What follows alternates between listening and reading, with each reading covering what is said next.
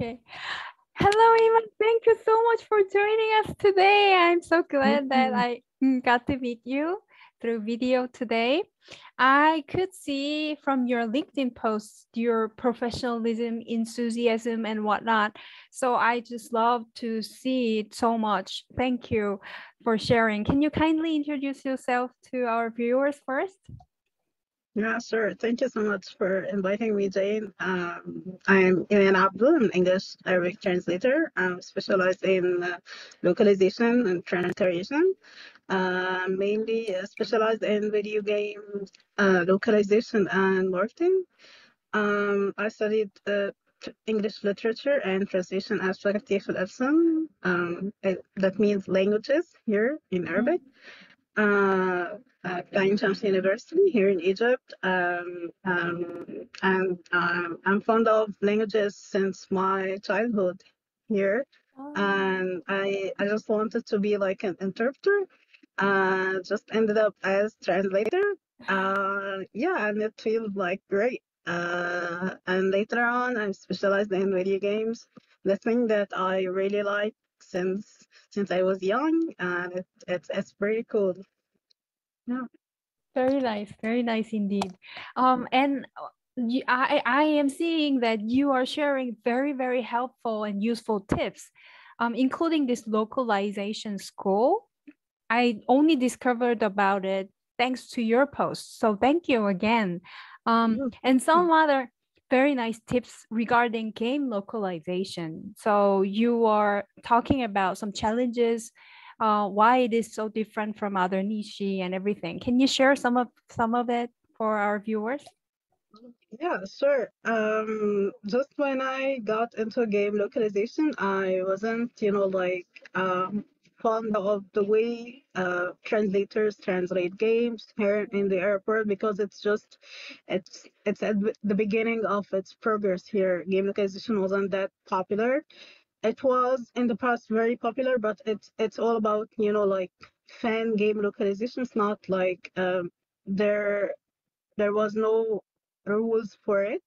So uh, it started during the pandemic, you know, and some years before it, but just booming during the pandemic because everybody's staying at home. So mm, just true. people trying to play games. So there is fun. more demand because of that, right? Yeah, sure. Right. And it's mm. it's it's all over the world, not just the airport, but mm. just you know, it's an international booming in the in the game localization. Mm. Uh, yeah, and I wasn't like uh, I didn't like the way the things are translated or the games are translated because I didn't know that there are rules and there are you know like restrictions over uh localization. So you're not choosing a word or sentence like randomly. No, you have like a set of restrictions that you have to follow and instructions from the client. And you have like a certain criteria for each game or each project. So it's not it's not that funny that that may look like, but it has some rules, um, and and it, it's different from language to another but like uh, like I mentioned in the in my recent post that um, there are a set of challenges like um, choosing uh, the register. Uh, how how can you like choose a word? you can ch- you can say um, for example dude or man. You can mm, you can choose between um, I don't know like um, anything actually. Uh, so there are rules for choosing which register to go to, uh, the age rating of the game. If this game is uh, for, I don't know, like 12 years old and, you know, like uh, younger than this, so you, you need to um, tune down the, the language or the register you choose. If this game is for adults, you may can you can choose a high register if this game is just a casual game or a puzzle like Candy Crush or uh, Uno or any, you know, like simple and fun game. So you have to choose um, a very low register mm. because people are just trying, you know, like to have fun, not to be, uh, I don't know, to have like a historical insight about the game or right. anything. Yeah, there is nothing. Not like to be that. educated. Yeah, uh, there are some other games like, uh, for example, Assassin's Creed, uh, or um, I don't know, The Witcher. There are some games like that that have to be um, in, in high register because it's it's it's it's in a different era or it's it, it has like a historical background or it's written in a poetic language so you need to follow what's what's what's written in the source language and you know the nature of the game itself uh, forces you to to to choose like a high register um, this is one of the challenges, of course. Uh, you know, you may um, encounter like slang language or um, any language that may seem a bit difficult uh, because you will never hear everything from the mm. language you're translating from. It's it's impossible. And sometimes, um, if uh, let's say if you live in the US uh, or UK and um, and it, currently mm, you may have to translate a game from the past or or you know like earlier than that. And you will never have like an idea about this slang word or this idiomatic expression so you need to mm-hmm. search about everything that may seem i don't know like weird uh, in inside the sentence or this part of uh, the sentence or paragraph um, this is one of the challenges. Um, um, the, the I don't know the humor is a big part of the challenges because you know humor is uh, is very not, good point. Mm. Yeah, it's not the same uh, across cultures, and um, mm. if we mm. if we're comparing between uh, mm. humor in in English or in Arabic, it, it's it's pretty mm. difficult. Sometimes here in Arabic there are some topics that are prohibited to you know like to right. have fun about or to talk about it exactly. like um, sarcastically mm. so you need to consider all the cultural differences um, when you're considering to make a joke or translate um, a sarcastic comment about anything in in the game or in the dialogues between uh, the characters um yeah, uh, I I mentioned also the bun and the wordplay. It's it's pretty tough because uh, everything in English seems seems very very easy to play with.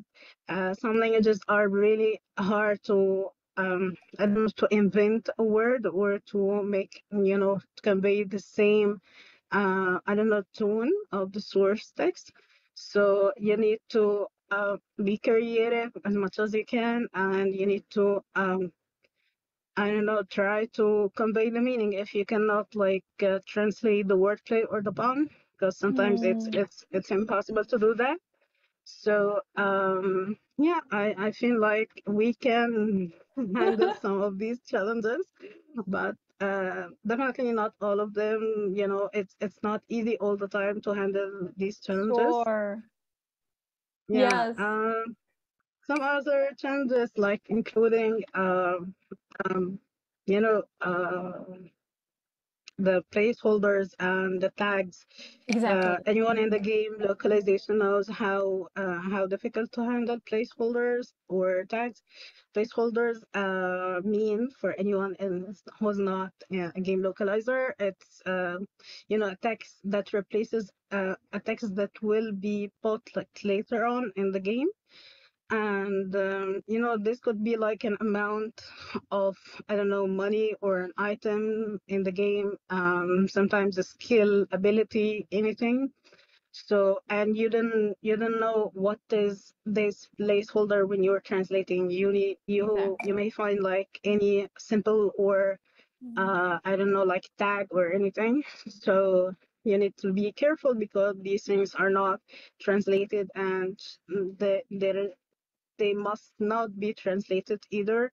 So you need to be careful with these things and you need to ask what if this placeholder, if your language is, uh, I don't know, like a gendered language like mine, and we add suffixes to the word depending on its it's either a male or female word. Mm. So um, yeah, it's it's uh, there are a set of other challenges, you know. you need to be creative and you need to take care of everything. You need to ask questions. Uh, because the main, you know, objective of game localization is to entertain the player.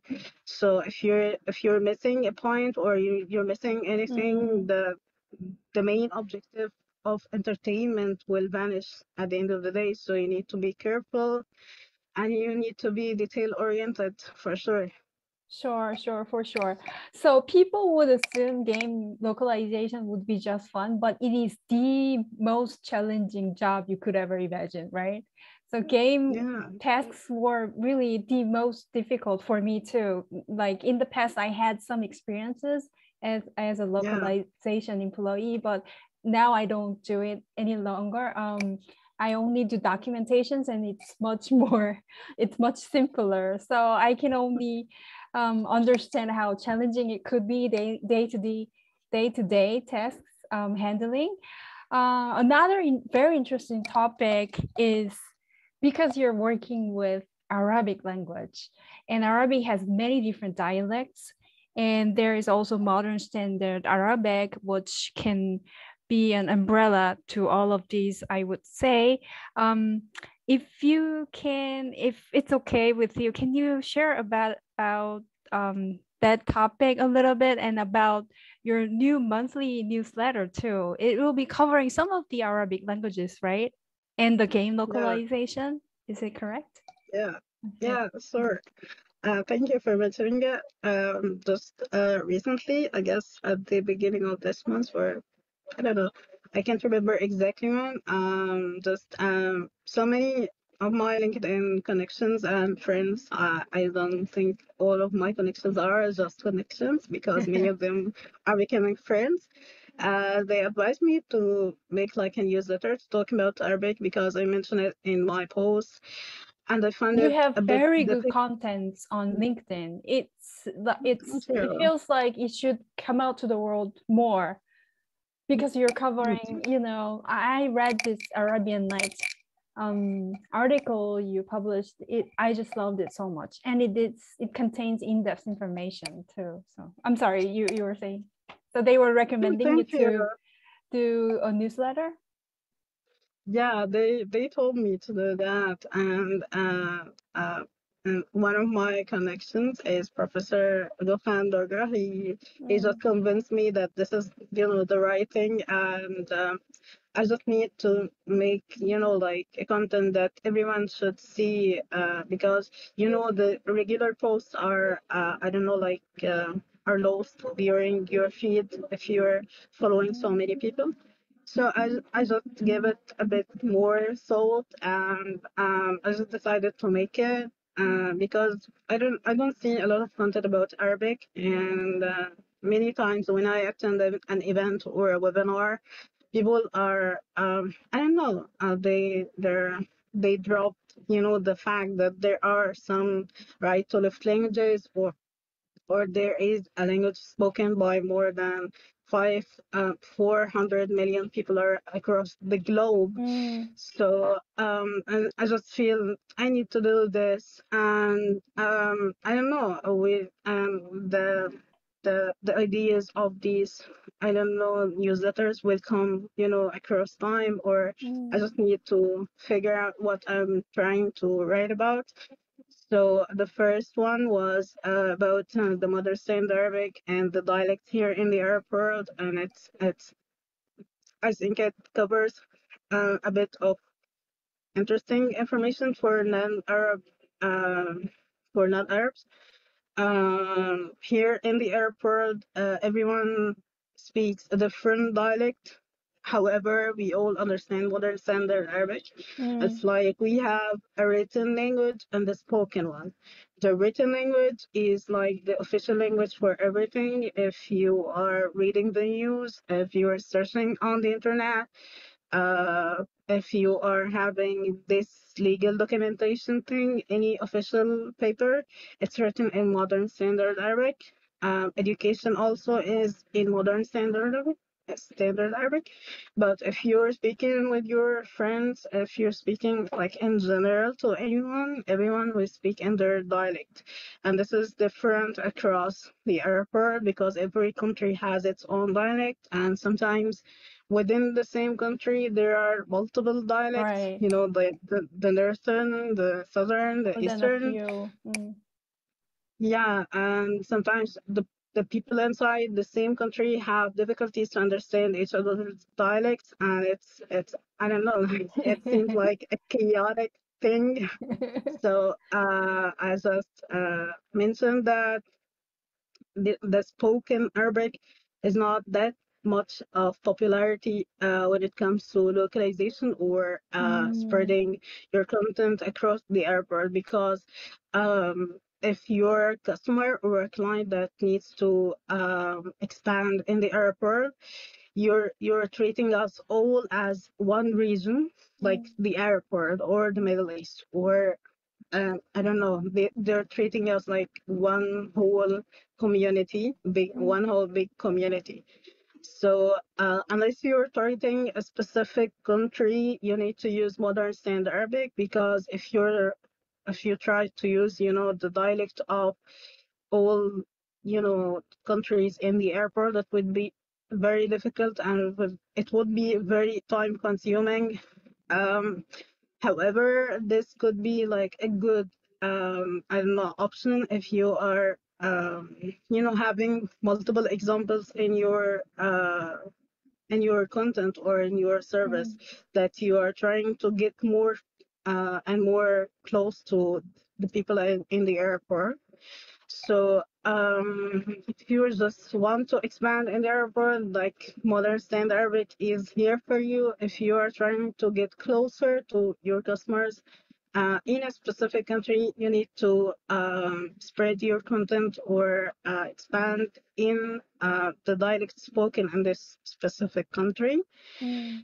Um, I, I I remember that I also shared about game localization and you know the conflict of choosing one dialect or language because game localization is a bit more like um, a fun way to interact with players and I don't know it's not like an official thing uh, to use modern standard Arabic but uh, like I said it's it's it's understandable across the Arab world. If you're just choosing one dialect, it will be definitely backfire because not everyone in the Arab world will understand this language.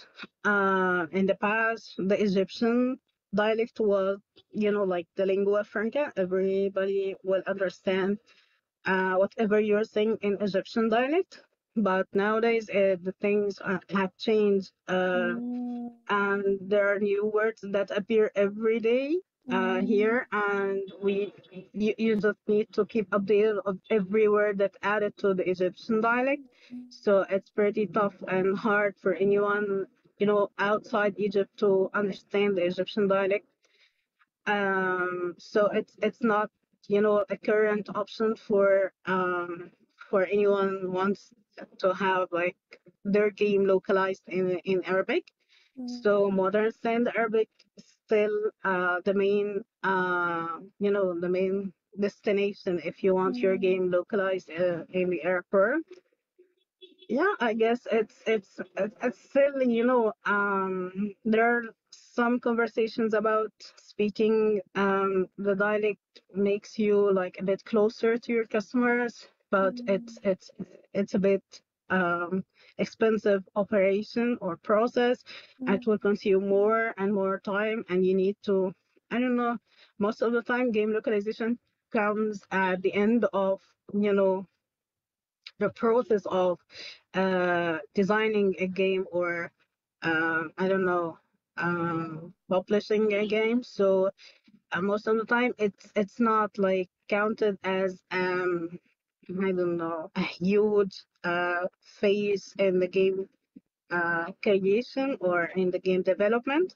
So um, they don't they don't want to have much and much time uh, just localizing the game or anything. Just mm. we need it to be localized because we have this uh, launching date of the game, so everything should follow um, accordingly um, to the date of this uh, launch.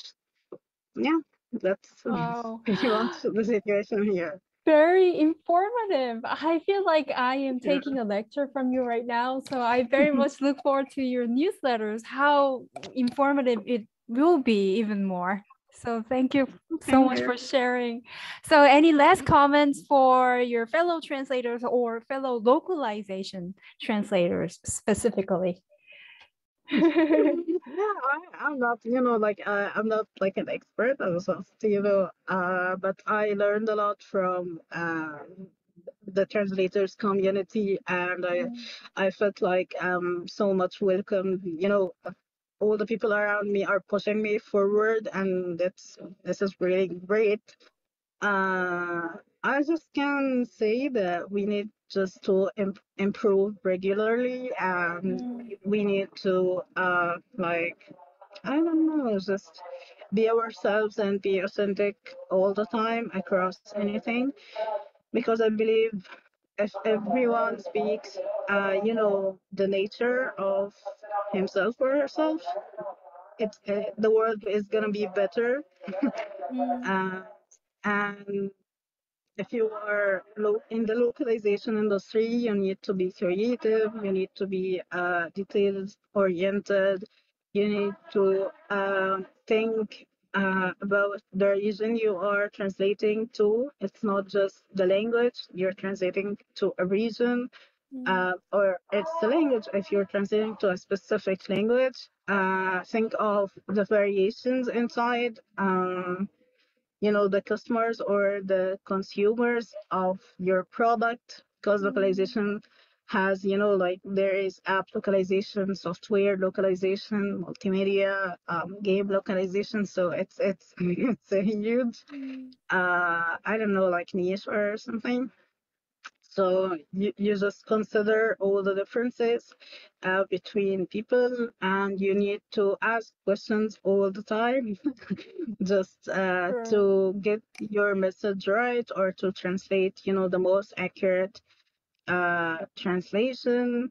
You need to follow any updates uh, within your niche or your uh, industry because if we're speaking in game localizations, there is uh, so much uh, of, of updates that happens like regularly and um, if there is like an event or a webinar related to uh, your niche um, you, you, need to be there. You need to uh, know what's going on in inside your niche. Uh, I'm not just speaking if you are just game localization, attend anything related to game localization translators or anything. No, it's it, it, it's good to attend anything related to uh, gamers in your region. Mm. Uh, if there is like a conference or a gathering of them, uh, and I believe like social media channels are are really great for that. Um, Discord, I believe for game localizers, it's it, it's a, a really good uh, channel to know the gamers, to know your uh, fellow translators. Um, you can ask questions if you're translating um, a specific game or um, a specific genre. There are multiple channels for that. You can ask questions. Um, for game localizers, we always depend on wiki fandom for um, you know knowing about the games sometimes uh, we it's not you know available in your country yet or it's uh, it's it's not um, I don't know, you, you didn't like play it uh, before. So um, we have like a multiple resources depending on which niche you are in the localization industry. Mm. So uh, pick up these resources, try to be resourceful, try to be um, good as much as possible, and mm. everything will get to after that, you know, it's always I believe in continuous improvement for for human beings in general. uh, yeah, so um, let alone being a translator and working in the language industry and working in the entertainment industry. So so many updates, so many uh, information. So you just need to be better and better, and everything will be great after that. Sure. I loved I had the interview with you to, today. Um, is it morning? yeah, your time? yeah, this morning. Yeah. So this this yeah. interview of this morning, your time was just awesome. So thank you so much, Eman. I very much look forward to seeing you around again on LinkedIn, okay? Yeah, thank you so much for having me today, Jane. I really enjoyed this, and I I I I'm following you on YouTube, and I just uh, enjoying listening to other translators' uh, stories or tips. And this is, you know, the way of sharing information or mm. getting improved. We, we we're listening to each other, you know, uh, listening to the tips everyone is providing. So this will make us um, better translators and this is what I'm talking about about continuous improvement. So thank mm. you so much, and thank you for inviting other translators to share their knowledge and uh, you know anything about their niches. Oh, thank you. So have a great day ahead, and I'll see you again. Okay. Yeah. Okay. Thank you thank so you. much. Thank you. Bye bye.